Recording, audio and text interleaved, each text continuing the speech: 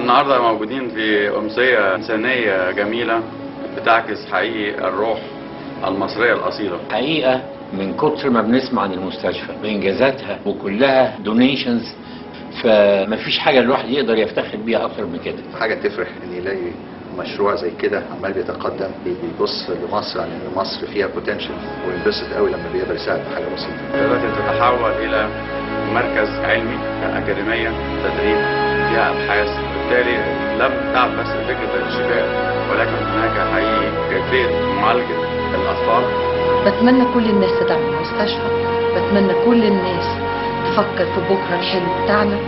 هننجح لو حطينا إيدينا في ايدين بعض ولو إن شاء الله حطينا هدف وحققناه